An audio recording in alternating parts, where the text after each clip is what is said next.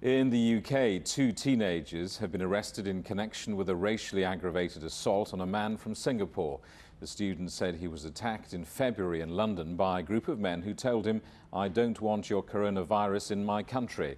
Meanwhile, there's been a rise in the number of racist incidents against Asian people in Italy, the country with the biggest death toll outside China. Ross Cullen reports from Rome.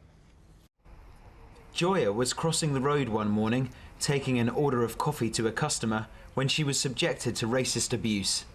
One example of how people who don't have coronavirus are still affected by the outbreak. And they just um, trying to attack me. And they, they just throw me down on the floor, on the ground, and kick me on my head and my shoulder and my back. And then there are many Chinese who's um, coming and they saw there's many people uh, like around and they ran away. The atmosphere in Italy intensified last month when the far-right governor of the northern Veneto region, which has been hit hard by the virus and has towns under lockdown, made a racist comment about Chinese people.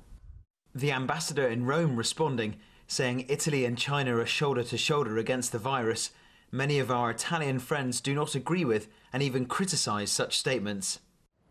As COVID-19 has spread around the world, so too has misinformation online and discrimination in public.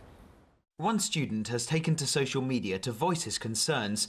Mirko Liu, whose grandparents came to Italy from China, says that in Italy there is still underlying discrimination that's been uncovered as the outbreak has spread. Morally and economically, the situation has changed drastically compared to two months ago. I think some Italians are using the issue of coronavirus to give a voice to their repressed racism.